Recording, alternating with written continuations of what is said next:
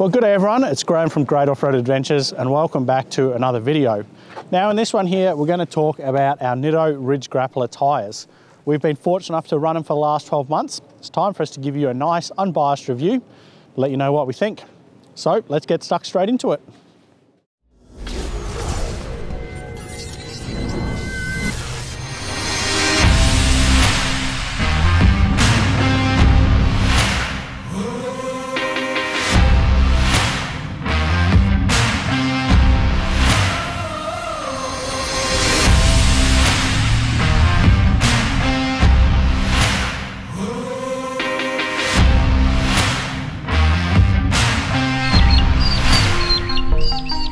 From the tough tracks to the remote tracks, from our campsites to the workshops. Come along and check out Great Off-Road Adventures. Your next episode is just seconds away.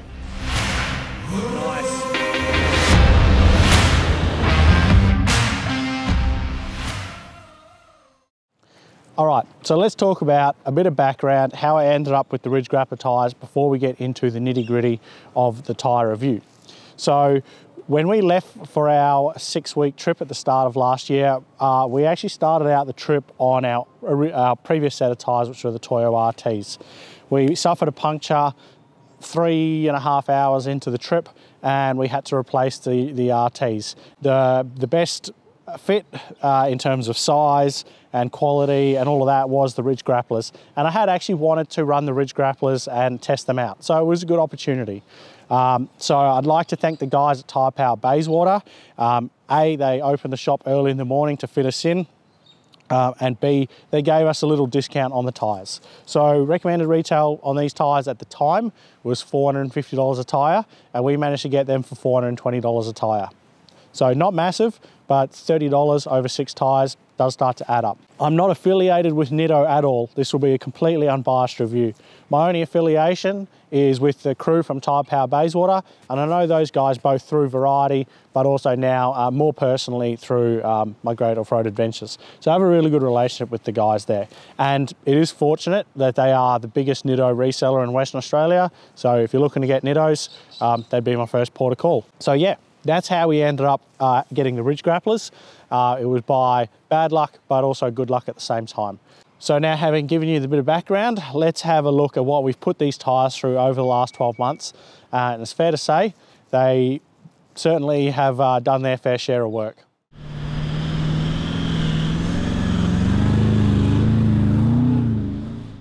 The other important consideration to let you know is where we've taken this car, what conditions we've put it through, how many kilometres we've done in the last 12 months with the Nitto Ridge Grapplers.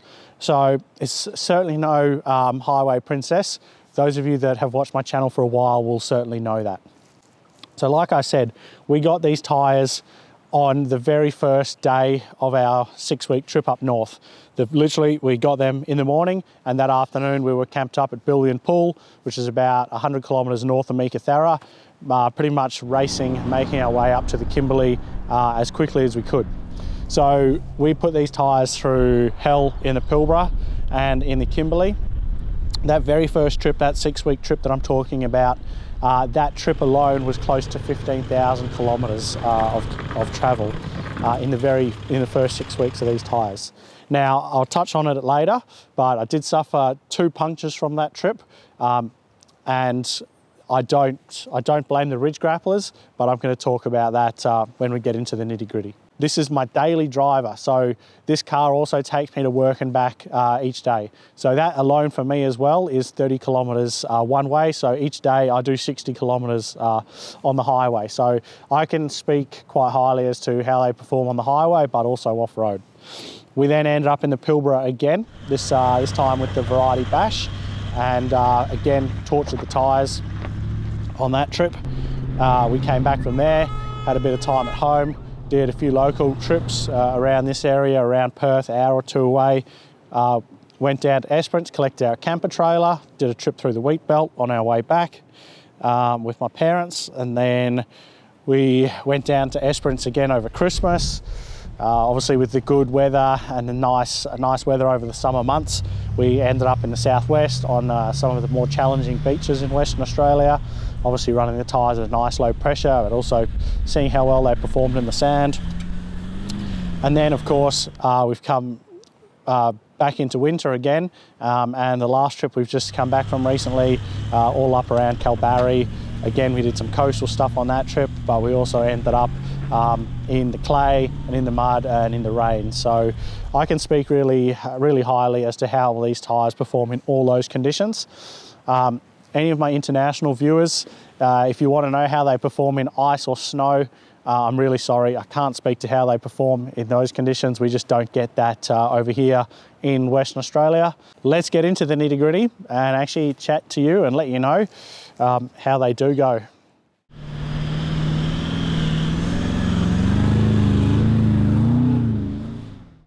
So let's talk about how they perform on uh, wet and dry bitumen because like I said that's generally where most of our kilometres uh, are done um, and being in Western Australia we've got to travel long distances just to get to anywhere and that's predominantly all done on bitumen.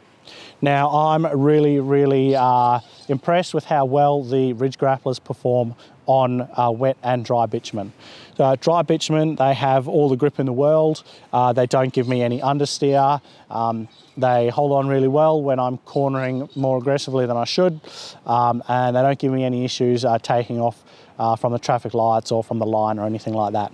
Now, we can obviously have the camper trailer on the back and put quite a lot of load on the car and they grip up and perform really well. Now on wet bitumen, performance is equally as good. I feel very sure-footed driving the car on wet bitumen. Um, other tyres that I've driven in the past uh, had a tendency to understeer a little bit and just not uh, feel as connected to the road. Um, and, and, give me that same sort of confidence and performance that the ridge grapplers do. So in terms of uh, wet and dry bitumen, of all the tyres I've driven on, the Ridge Grappler would be the best performer, the best performer on bitumen, uh, both wet and dry, like I was saying. Well, I'm sure you're all asking the question, are the Ridge Grapplers noisy tyres? And at the end of the day, the Ridge Grapplers, they are not a noisy tyre, which really surprised me, especially with how aggressive the tread uh, design and pattern is on them. So obviously I can compare the Ridge Grapplers to uh, all the previous tyres that I've run on this particular car and I can tell you these are the quietest tyre that I've run and that's uh, in all conditions. Obviously most of our road noise comes from bitumen driving. You generally find that when you're off-road there's other noise factors which will um, overpower a tyre noise. But like I was saying, I do uh, 30 kilometres one way to work. So each day I do 60 kilometres to work and back in this car. That's down um, major highway with concrete barriers on either side of it. So I can tell you um, there's no uh, road or tyre noise reverberation off of those barriers when I drive the car. windows up, windows down, there's negligible, like absolutely almost no tyre noise. Like I said, I was super, super impressed. I'm sure there was going to be some tyre noise. Um, and I fully expected, obviously when the tyres were brand new, them to be nice and quiet. But I didn't expect after 60,000 Ks in a year, and that's comparing to obviously the other sets of tyres that I've run previously. After 50,000 Ks, after a year, uh, and that sort of thing, generally those tyres have gotten noisier. But I can tell you that after a year and 60,000 Ks on my Ridge Grapplers, uh, they are still as quiet today as the day that they were brand spanking new. So yeah, I'm really impressed. There's no road noise whatsoever uh, with the Ridge Grapplers. Given that predominantly most of our driving is on bitumen, it is important that we have good performing tyres on bitumen.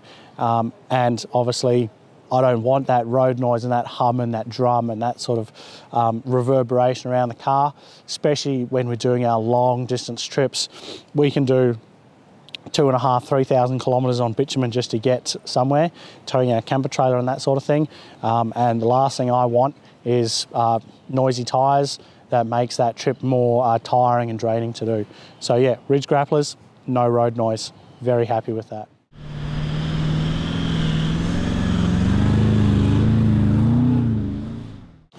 Well, let's talk about how the Nitto Ridge Grapplers perform off-road. And arguably, that's one of the most important considerations when you go to buy an all-terrain tyre um, to fit it to your four-wheel drive that you're going to take off-road. How do they perform off-road?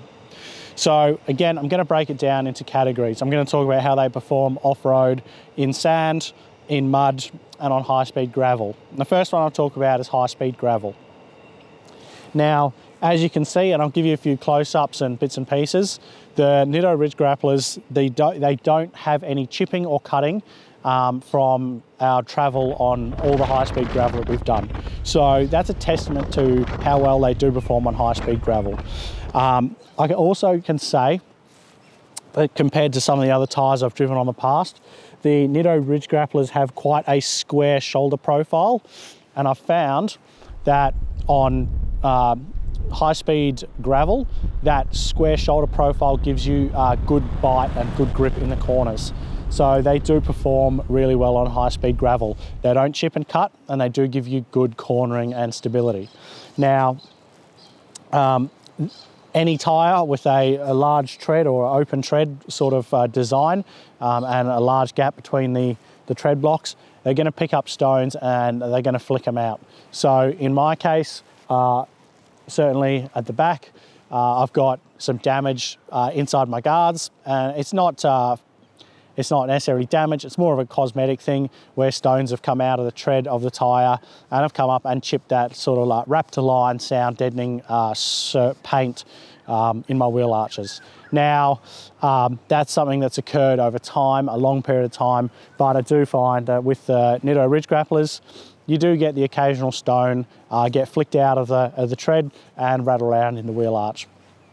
Now, I wouldn't say that that happens or occurs any more frequently than any other tyres I've driven on. Certainly, I haven't necessarily noticed it happening more often, but um, I have noticed it. So it's, it's a consideration with um, any sort of aggressive tyre that you fit to your car.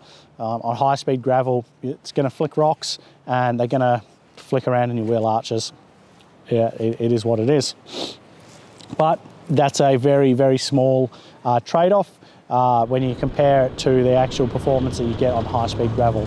They perform exceptionally well, um, give me a lot of confidence, and you know, overall with good suspension setup, good tyres, the car drives as well on high-speed gravel as it does on a bitumen road. And that's really all we can ask for, especially, you know, load the camper trailer up and go touring. Uh, it's, it's really comfortable, it's really capable, and the tyres perform really well. Like I said, they're very durable and they're not showing any signs of damage or wear and tear from a lot of high-speed gravel. So very happy with that. How do they then perform when it comes to taking them onto sand? Well, like I said, we've done quite a few sand trips and one of the biggest considerations when it comes to taking a four drive onto the sand is letting your tyres down and letting air out of them, deflating them a little bit. What that does is it increases the footprint um, and it gives you more traction, more flotation on the sand. Now there's uh, certain beaches around Western Australia that are as hard as the ground that I'm standing on now and you don't need to let your tyres down on them. But there's probably um, way, way, way, way, way more beaches out there that are soft, some sort of um, semi-soft, some of them very soft, um, that you do need to let your tyres down for, otherwise you're going to get bogged. So how do the ridge grapplers perform in sand? Well, like I said, tyre pressure is the most important thing. What I have found though, and this is due to the construction and the design of the actual ridge grappler tyre itself, is they have a really, really stiff sidewall. So the aggressive all-terrain tyres, a lot of them on the market are like this. They have taken the carcass or the strength, the underpinnings, the uh, of the tyre from their more aggressive uh, and heavier mud terrain sort of cousins. And then obviously they've, uh, you know, made it a little bit less aggressive. So the, the, the tyre is very strong. And of course, what that means is when you do let air out of the tyres, they don't necessarily bulge um, in, in the same fashion that you would expect uh, maybe a normal all-terrain tyre to. So what I've found um, and this has been the same across uh, the RTs that I ran previously, that you do need to let just a little bit more air out. By a little bit, I mean about 2 psi more out of the ridge grapplers than I would have with all-terrains that I've run in the past to get the same level of performance. Um, and I, I, purely just put that down to the, uh, the strong sidewall. And now that's a, that's a key feature of the tyre. It's not a complaint at all. The strong sidewall, it's a good thing. Just means that when you do hit the sand, you need a little, let a little bit more air out of them. You see a lot of people out there say that aggressive tread pattern tyres, uh, all they're going to do in the sand is get you bogged. They just dig in and they're, they're no good in the sand. Now, I can debunk uh, a lot of that. We've just done a trip up the coast um, just recently. Part of our uh, one week trip that we went away was along the coast. Uh, first time towing our camper trailer in the sand, and I can tell you that the ridge grapplers performed absolutely flawlessly. We didn't get bogged once. Um, that was towing obviously our camper and with our car fully loaded for a week away and the first part of the trip was the section that was along the beach. Um, so yeah, uh, they don't dig in, they don't bog you down uh, like people will try and make you believe. That being said, in comparison to other tyres I've run in the past, um, you know, predominantly comparing them to the Toyo RTs, they do, uh, they do dig a little bit more. So not to the point where you're going to get bogged, but if you're stationary and you just stomp on the throttle, uh, they are going to dig and you are going to struggle a little bit. But if you roll into it and let them come up on the sand before you get into the throttle more aggressively, um, they give you no issues whatsoever. That's something that I just put down to the tread design of the ridge grapplers, having a lot of horizontal, large horizontal voids in the tread surface going across the tyre does give you good grip and it does dig into the mud and the sand. Um, when you compare it to sort of other aggressive all-terrain tyres out there that perhaps have uh, their tread blocks run more longitudinally and lengthways along the tyre, they probably won't dig uh, quite as much. But like I was saying, they certainly don't dig to the point where you're going to get yourself bogged. If you are, um, I guess, mod modular in your throttle application and you just start out gently and then just roll into the throttle when you go to take off aggressively in sand, you'll have no issues with the tyre. But if you just stomp on the throttle, they will dig in a little bit. So yeah, overall, very, very happy with how they perform in the sand. They have given me no issues. Uh, they haven't slid off the bead or anything like that. We've had these tyres uh, down to 10 PSI uh, on the softest sort of beaches in in our southwest region, and yeah, haven't given us any issues in terms of uh, de-beading or anything like that. So overall, very very happy with how the ridge grapplers perform in the sand. So let's have a chat about how the Nitto ridge grapplers perform in the wet, slippery, junky stuff like mud and clay and that sort of thing. And whilst the car looks pretty clean today, I'm going to put a few shots up on the screen of what it looked like two weeks ago when we came back from our most recent trip. Now that one there, uh, we had to completely change our plan. We had to go inland. We had to escape a big cold front, big weather system that was coming in over the coast. In the end, we received about eight mil of rain over about three days. Um, and where we were was red clay country, which if you're familiar with that country, when it gets wet, it gets very slippery. And overall, I was very, very, very happy with how the ridge grapplers performed. We had to tow our camper in, explore, well, we did a little bit of exploring around the station, collecting some firewood, that sort of thing. And then obviously we had to tow our camper out after all that rain as well. Um, and overall, the tyres and the car performed really, really well. Now, they're not as aggressive as a full-blown mud terrain tyre, so you would expect that with that they don't, or they aren't, um, they don't perform quite as well as a full-blown mud terrain tyre would in slippery, muddy stuff. That's to be expected. That being said, I did see and I was able to compare these tyres to the Nitto Trail Grapplers, which my Jake was running on that trip. And you could just see in a few places when it got really, really, really wet and slippery, um, his tyres just performed that little bit better. They seem to just eject that mud and give them a little bit more traction. And to be honest, that's to be expected uh, with the Trail Grapplers. They do have a larger opening um, and that sort of thing uh, between all the tread blocks, um, which gives them that little bit better performance in the mud. So yeah, overall, in the mud, in the wet, slippery stuff, I have absolutely no complaints about the ridge grapplers. They do feature a really good side biter profile along the edge of the tyre. That gives you good performance in the ruts and that sort of thing. Um, it gives you good grip on the side and good grip on the tread. And really, that's what you want.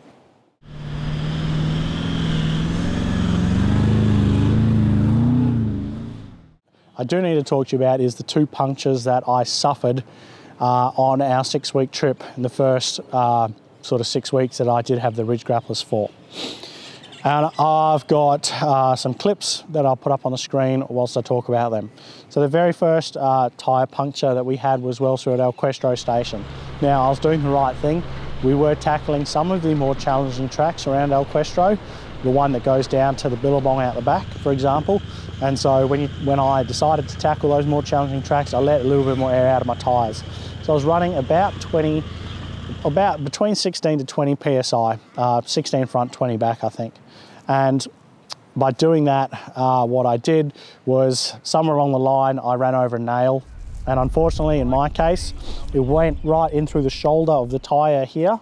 And because then obviously the tyres rolled over it and compressed on it, uh, being that the tyre was let down, it's actually then the nails come out again, not far from the bead of the tyre. Now, uh, that's really just unfortunately bad luck in my case.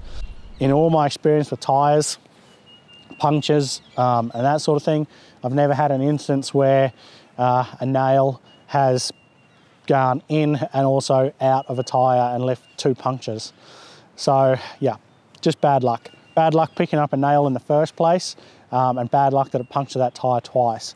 Now where it punctured the tyre in the shoulder, that uh, was actually a repairable puncture from the inside with a patch, but unfortunately where it, it then protruded out next to the bead, uh, that was not repairable because it's in the sidewall.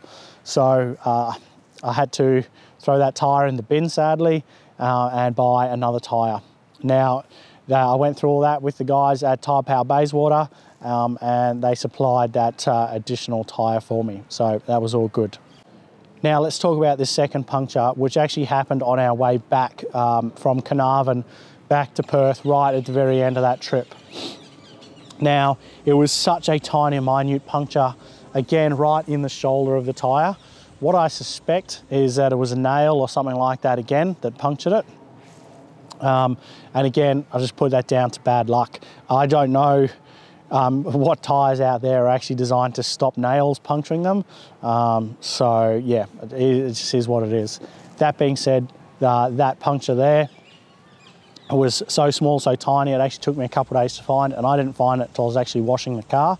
Um, and that one there we were able to patch at Tyre Power Bayswater and I've got that tyre sitting in my shed as my spare tyre now. So yeah, happy days with that.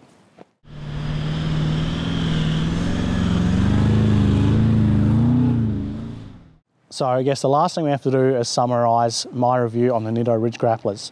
Now the size that I elected to run in this set is a 305 70 17. It's equivalent of a 34 inch tyre. That is a big tyre and of course with all big tyres you do pay uh, a higher price.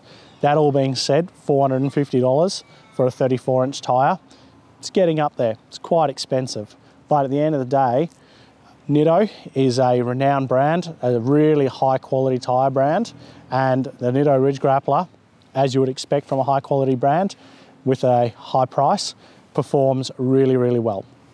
So like I said, like I've touched on, like I've spoken on in all the other bits and pieces of this review, uh, I am really, really happy with how the Ridge Grapplers perform uh, to the point where I'm now going to put Ridge Grapplers, uh, match these tyres and rims on my camper trailer and I'm going to run these again on my, as my next set of tyres.